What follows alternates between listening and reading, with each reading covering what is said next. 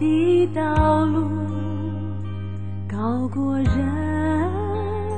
的路，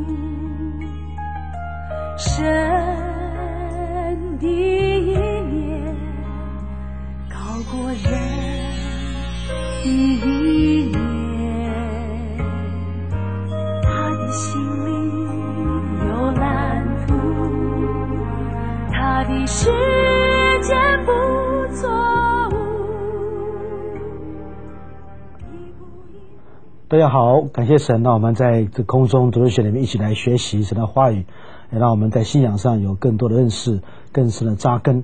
我们正在谈就是救恩论里面的第一个大主题，就是预定论。我们前面啊、花了一些时间来谈到就是加王派的这个预定观，也接着谈到就是亚缅派的预定观呢。这个时候我们继续在思想亚缅派预定观里面一些比较啊、细的部分。我们这个时候还有思想，就是在亚米念派的这个教导里面谈到说，神盼望每一个人都可以得救，盼望每一个人都可以回转，啊、相信他。这个时候我们继续看呃经文支持这样的一个呃看法，这样一个真理的教导。我们来看就是彼得后书的第三章，第三章的第九节哈，彼得后书的第三章第九节那里看到说，彼得教导们。就是啊，神的心愿就是盼望每一个人都可以得救。神不情愿啊一个人沉沦，他盼望每一个人都会得救。我们来看一下彼得后书，彼得后书这里的第三章，第三章的第九节，这看到说彼得这样说：彼得说，主所应许的尚未成就，有人以为他是沉沦单言，其实不是单言，乃是宽容我们啊，宽容你们，不愿有一人沉沦，乃愿人人多悔改。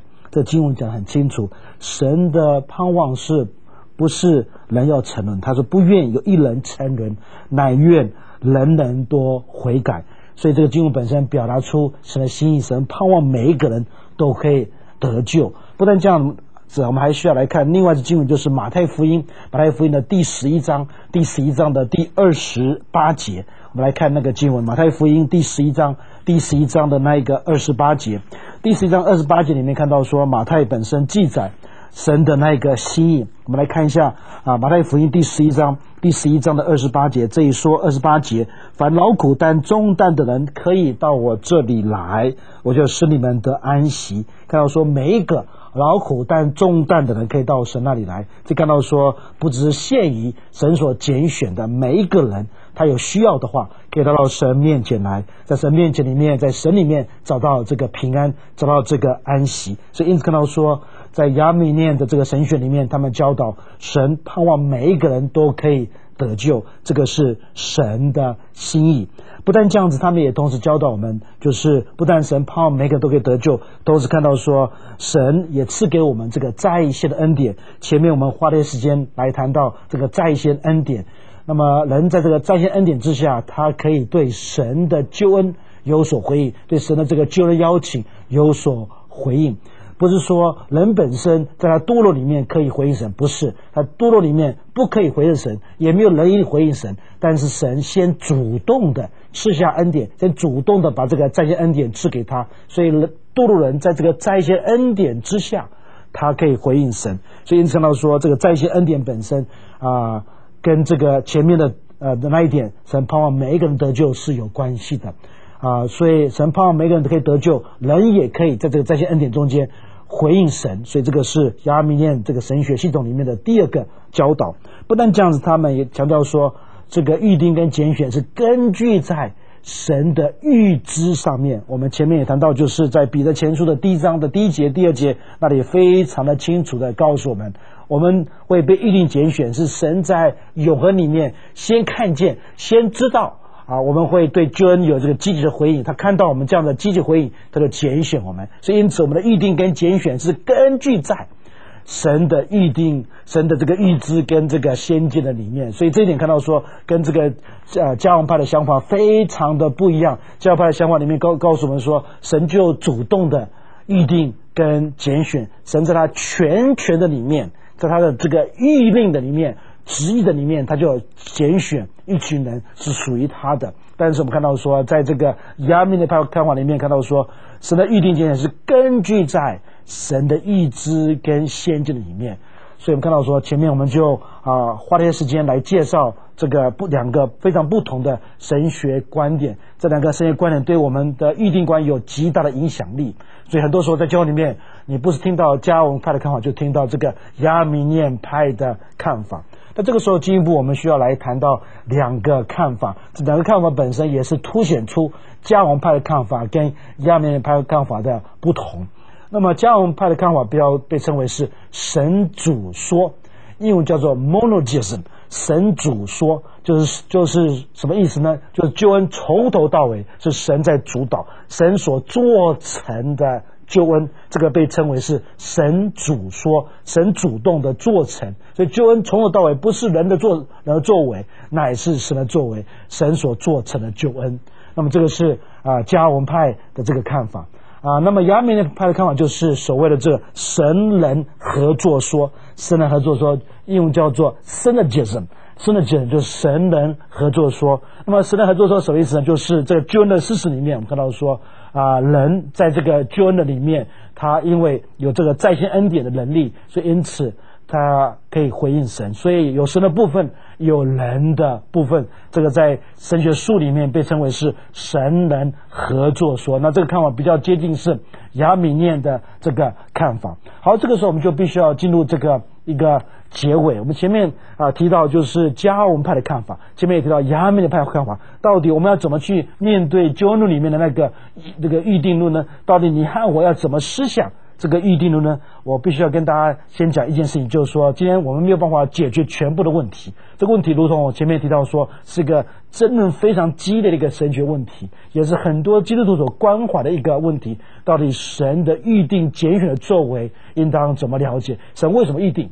是预定的。的基础是什么？就是我们一开始跟大家来谈的那个那个重点。那这这个时候我们就必须要做一个结尾。这个结尾里面，我必须要特别强调，我们必须要非常的小心。我们知道说，圣经上本身同时谈到神的主权，谈到神救恩的这个主权，也谈到人人有自由，人有自由。所以看到说啊，这两点在圣经上里面多谈到。所以因此我们看到说，这两个真理都谈到，这两个真理好像是。啊，在一个张力的里面共存，所以因此我们在教导这个预定论的时候，我们都必须要顾到这两个核心的真理。不但神有主权，不但神在这救恩里面，我们知道说他有他的主导权，但我们看到说人本身他有自由，人本身在这个他的恩典之下，在恩典之下有回应神的这个能力。所以因此我们看到说这里面是啊有张力，有一个所谓的是非而是的一个事实。所以，因此看到说，我们必须要对这样的一个救恩在预定的认识有更进一步的的了解。那么，这个时候容许我特别的说明。那么，这个说明里面就是帮助我们去平衡，平衡就是说，不要太过分的只强调神的主权、神的全权、神永恒预定的那个那个安排。那同时看到说，也顾到。人的回应，人的自由，所以这个时候容许我用啊两两两段话，这两段话其实是一一一一大句话本身来凸显啊这个平衡。那么这个试着要要同时要要把这两个真理啊都放在一起来考虑。那么这看到说啊这句话啊怎么说呢？这两段话怎么说呢？就是说只有被这恩典改变的人。才可以对神救恩恩典的邀请做出一个积极的回应。这个是啊这句话的第一个部分啊。那么第二个部分什么怎么讲呢？但是只有那些做出这样回应的人，才是真正被恩典所改变的。容许我再说一次，让大家清楚了解到这句话的这个意思。这个计划的那个那个啊，试着要把这个张力都放在放在一起来考虑啊，看到说。只有被神恩典改变的人，才会对神恩典的邀请、对神救恩的邀请做出积极的回应。就看到，说这第一句话里面谈到，人应当被神的恩典改变，只有在神恩典改变之下，他才会对神的恩典的邀请、对神的救恩的邀请有所回应。但是，请大家注意，那个第二句话，只有那些真正被神恩典、那些做出这样回应的人。我们知道说，才是真正被恩典改变的人。所以我们看到说，呃，神在恩典中间改变我们，但是我们知道说，我们也需要做出这样的回应。一个被有回应的人，才是被这个恩典改变的人。所以因此刚刚说，神的恩典本身，它不会磨杀人的自由，它不会贬低人的自由。我们看到说，他他的恩典把人的自由放在一个全新的地位上，把人的自由放在一个全新的基础的上面。所以因此我们在思想这个预定论的时候，我们不要忘记。我们同时要肯定神的主权，肯定神是那个救援救恩的源头，这是预定预定拣选的这个主角。但是我们看到说，人本身在这个这个救恩的这个事实上，他要回应，他回应的时候，才真正看出他被恩典所改变。所以因此看到说啊，人本身在神的恩典之下，这恩典本身让他让他可以回应神，这恩典本身让他。可以对这个救的邀请有所感觉，有所回应。所以因此看到说，这里凸显出那个这个救恩的事实里面有不但有那个积极面，也有消极面。我们看到说，在神的恩典之下，我们是积极领受、积极的屈服在神的恩典之下。这是恩之下看到说，在这屈服谦卑之下，我们领受恩典。但是我们看到说。啊，当我们领受恩典的时候，这个恩典本身改变我们，改变我，那我们可以对神的恩典有所，对神的救恩的恩典，神的救恩的邀请有所回应。所以看到说，在这个救恩里面，同时有它的积极面，也有它的消极面。所以因此，我要特别强调，在这预定论里面，我们需要同时看到那个积极的部分和那个消极的部分。所以，因此，我们在这前面的部分里面，我们花了一些时间谈到预定论，神在永恒里面所做出的预定跟拣选，这是我们救恩论里面第一个，可以讲说第一个大主题，谈到神在永恒里面的那个拣选跟预定。那接着我们就需要进入第二个主题，第二个主题谈到我们在救恩里面常常听到的，就是跟救恩非常有密切的关系的是什么？就是你要重生，你要重生。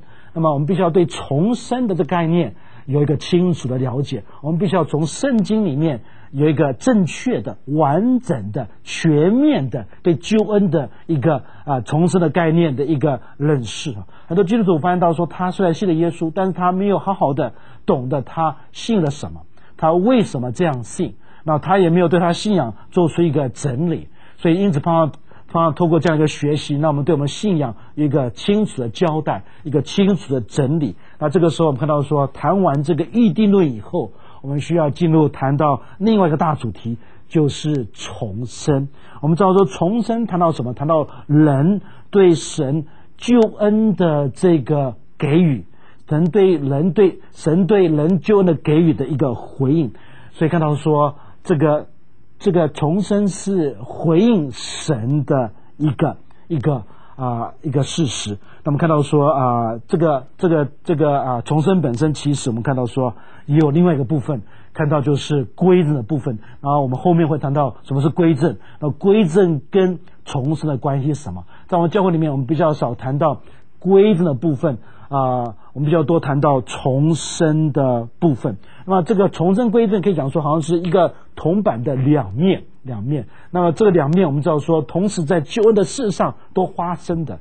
我们知道神的灵更新我们，神的灵救我们。我们在神灵的更改变里面、更新里面重生得救。但是我看到说，我们也要归正，我们要转离罪，转向神。所以这个时候，我们看到说，我们就必须来谈到人对救恩的回应。这个回应里面的第一个部分，谈到就是重生。那到底什么是重生呢？我们知道说啊，神不只是要我们成为好人，not only to be nice people，但是在它里面要成为新造的人。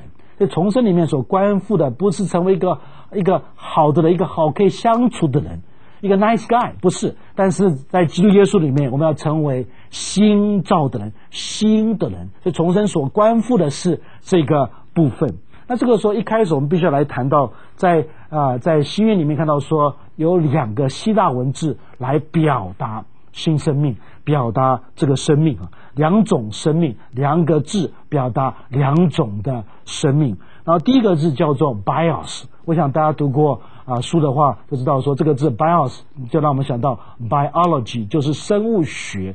那么这个字 bios 这个希腊文字 bios 就是就是生物肉体的生命。那这个生命可以说是一种以自我为中心的生命啊，bios。那么第二种生命什么生命呢？就是所谓的 zoe，zoe 就是属灵的生命啊。生命其实啊，有一些女孩子的英文名字也叫做 Zoe 哈。这个 Zoe 这个这个啊，这个英文名字是来自于希腊文那个字“生命”。这个生命是一个属灵的生命，是一个以神和或者是他人为中心的生命。所以两种生命，一种是 Bios，一种是 Zoe。Zoe 是啊，Zoe 是属灵的生命，Bios 是生物肉体的生命。那么 Bios 本身是强调。以自我为中心的生命，那么 Zoe 是谈到属灵的生命，这个生命是以神或者以别人为中心的生命。那么基督徒本身不但有 Bios，同时他也应当有 Zoe，他不但应有这个生物的生命，有这个呃这个呃肉体的生命，同时他也应当有属灵的生命。这个属灵生命的这个注入，属灵生命的这个这个事实是来自于生命的更新，生命的重生。谈到重生的时候，我们必须要从圣经的教导来看，到圣经上怎么教导关于重生的这个真理。那么这个时候，我们不只是从新约来看，我们需要从整本圣经来看，到底重生是怎么样在圣里面被被教导的。这个时候，我们先来看旧约怎么谈重生。所以，因此看到说，神是那位促成这个这个激烈的生命的翻转，这个彻底的生命的改变。重生啊！救恩在圣经里面，我们知道说啊，只有一个方式，一一套，不是两套，不是旧一套，也不是新约一套啊。看到说旧约在跟新约里面在旧的教导上是一致的，在这个时候我们就必须来看，就是生命记的这个教导。我们来看生命记第三十章的第六节，生命记三十章，我们来看这里的第六节，这怎么说呢？这里摩西说：“耶和华你神必将你心里。”和你后裔心里的污秽除掉，好叫你尽心尽心爱耶和华你的神，是你可以存活。就看到说，摩西在旧里面教导说，神要给我们一个新的心，这个他要除掉那个污秽的心，他要给我们一个新心。这个是旧约啊的方式来表达重生的那一个事实。所以看到说，重生是一个属灵的更新，这更新是表达一个新的新的给予。我们知道说心在旧里面表表达这个是人的那个核心啊，所以一个人的所为是从他心里面所发出，所以因此看到说从最彻底的里面，神要改变我们，神要除掉这污秽肮脏的心。给我们一个新心，他要更新我们，他要从最彻底里面来更新我们整个生命。不但这样，看到说，在耶利米书第三十一章的三十三节在那里看到说，也有同样的教导，谈到就是神的这个重生的这个这个事实，这个重生的这个教导，我们需要来看，就是耶利米书第三十一章三十一章的三十三节那里所看到。我们这个时候来看一下耶利米书。三十一章，三十一章的三十三节，这怎么说呢？这里看到说，这位先知这样教导我们说：耶和华说，那些日子以后，我以色列家所立的约乃是这样，我要将我的律法放在他们里面，写在他们心上，我要做他们的神，他们要做我的子民。看到说，神要亲自把律法。放在他们里面，写在他们心上。再次看到说，神要从我们心里面来做一个改变，把律法写在我们的心里上面。不但这样子看到说，在以西结书是第三处的经文里面谈到这个重生的教导。我们这个时候就来看以西结书三十六章，三十六章的第二十六节。再看到说是旧约的那个方式来教导们重生的这个事实，我们来看以西结书三十六章三十六章的二十六节，这一说，我也要赐给你们一个新心，将心灵放在你们里面，又从你们的肉体中除掉实心，赐给你们肉心，神要赐给我们一个新的心。神要改变我们，是要更新我们，是要赐给我们一个新心。这都是一些非常基本的旧约的教导，关于重生的这个部分。这个时候，我们就进入新约。谈到新约的时候，我们看到说，的确新约在谈重生的部分里面有蛮多的篇幅，蛮多的这个教导。我想大家一想到重生的时候，就想到约翰福音的教导。的确，约翰在约翰福音里面有蛮多谈到重生的这个真理。那这个时候，我们就来看约翰福音的第一章，第一章那边的教导。我们从约翰福音开始来看约翰福音的第一章，第一章的第十二节到第十三节。我们知道说，约翰福音的第一章。十二节到十三节是约翰福音的那个开场白，这个开场白是一个非常非常啊深的开场白。这开场白里面讲到非常丰富的这个神学，非常丰富的这个基督论，谈到基督耶稣是那位太初的那个道，这个道与神同在，这个道。就是神。那这个时候，我们就需要来看这里的第十二节到第十三节，谈到重生的这个真理。我们来看这里的第十二节：凡接待他的，就是信他名的人，他就赐他们权柄做神的儿女。看到说，谈到接待接待神、信他名的人。他就赐给他权柄做神的儿女。我们来看这里的第十三节：这等人不是从血气生的，不是从情欲生的，也不从人意生的，乃是从神生的。因为接待神的人，因为相信神明的人，我们再说，我们知道说，他们是不是从血气生的，乃是从神生的。这两处经文里面。在约翰福音的一开始就谈到重生的那个意义。那接着我们就需要来看约翰福音的第三章。约翰福音第三章，约翰福音第三章里面看到说啊，蛮多的直接谈到重生的这个真理。那么我们看到说，在约翰福音第三章里面，我们都知道说，这个经文里面谈到这位法利赛人，这位尼哥底母，他夜里来找耶稣，他是那位犹太人的。官，那这个时候我们就按照这经文来思想这个重生的这个教导。这经文对我们来讲是蛮熟悉的经文，但求神让他的真理来对我们来说话。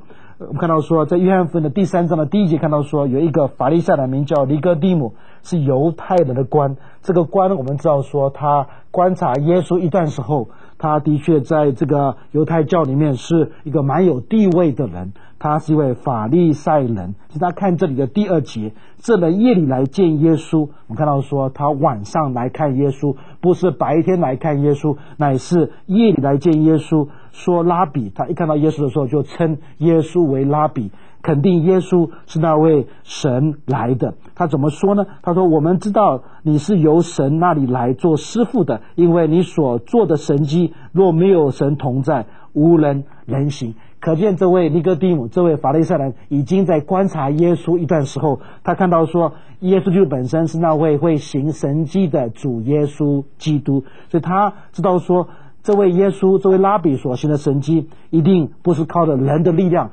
乃是什么？靠着神的力量。他自己说，若没有神同在。无人能行这样的神迹。那么看到说，他一开始就讲到基督耶稣是蛮有能力的，是会行神迹的，是一位拉比。但基督耶稣我们知道说，看出他来找他是有目的的。他一开始就对他讲说，你需要重生。所以因此看到说，第三章第三节里面怎么说呢？耶稣回答说：“我实在的告诉你，人若不重生，就不能见神的国。”看到说，一个人需要重生。才可以见到神的国，要跟神的国有份，一个人就必须要重生。那接着我们来看这里的第四节，尼哥底母说：“人已经老了，如何能重生呢？”可见尼哥底母的回应中间里面看到说，他听不懂救耶稣的那个教导。虽然他这个法利赛人是一个受过教育的人，他是个犹太人的官，但是当基督耶稣告诉他说：“你要重生。”才可以见到神的国，他听不懂，他以为说基督耶稣在所讲的不是讲这个主讲这个周位来讲这个巴亚，他把它了解成为是那个那个啊生理的生，那个身体的生。尼哥底母说：人已经老了，如何能重生呢？岂能再进母腹生出来吗？所以他把耶稣的重生说成为一个身体的肉体的这个生。因此，基督耶稣继续的教导他什么呢？我们来看这里的第五节。第五节说，耶稣说：“我是在告诉你，人若不是从水和圣灵生的，就不能进神的国。”一个人要进神的国，一个人要见到神的国，他需要重生。那么看到说第二次，基督耶稣强调人需要重生，才可以跟神的国有关系。那么在这个部分里面，基督耶稣加了一些东西，是前面第三节里面所没有看到的部分。他说什么呢？他说人若不从水。和圣灵生就不能进神的国，所以因此我们就必须要来了解到底水和圣灵生是什么意思。那可以看到说，这个水和森林生，这个水什么样的水呢？在一些拉比的这个作品里面，一些犹太的作品里面，把这个水说成为这个难能的这个金水。这个这样说法其实有些道理，就是其实这个生命的开始跟这个男人的金水是有关系的。但是我们知道说，这个经文里面所说的水，也不是基金会里面受洗的水。我们知道说，当时基耶基耶稣在跟尼哥底母谈话的时候，那个时候也没有浸心会啊，所以因此不要把它说成会说成是净力里面这个受洗的这个这个水，不是这个水。这个水什么意思呢？这个水应该是象征代表。一种内在的洁净，这个水是代表一种内在的洁净啊。这个水也不是矿泉水，这个水也不是那个什么自来水，这个水也不是那个什么口水啊。我们看到说，这个水是代表什么呢？一种内在生命的这个改变。那么，这个内在生命改变的这个教导，我们需要从旧约来看，这个旧约本身给我们这个明显的这个这个教导。我们来看以西结书，以西结书的三十六章的二十五节。以西结书三十六章的二十五节，可以看到说，以西结本身给我们说明到底这个水是什么意思。这个水的确象征代表那种内在的洁净。请大家来看一下三十六章的第二十五节。第二十五节怎么说呢？二十五节说：“我必用清水洒在你们身上，你们就洁净的。我要洁净你们，使你们脱离一切的污秽。”弃掉一切的偶像，就看到说这个清水洒在你们身上，你们就洁净了。所以这个水应该是讲到那个内在的这个洁净。所以因此看到说，尼哥底母他来找耶稣，耶稣告诉他说：“你要重生，重生需要有个内在的洁净，不但要从水，还有从圣灵生，一个人才可以见到神的国，才可以进神的国。”那我们在后面必须要继续谈到这个圣灵的这个部分是什么意思，所以我们下下面会继续谈到这个圣灵的这个部分。那么今天我们就谈到这里，谢谢大家。让我们耶和华的山，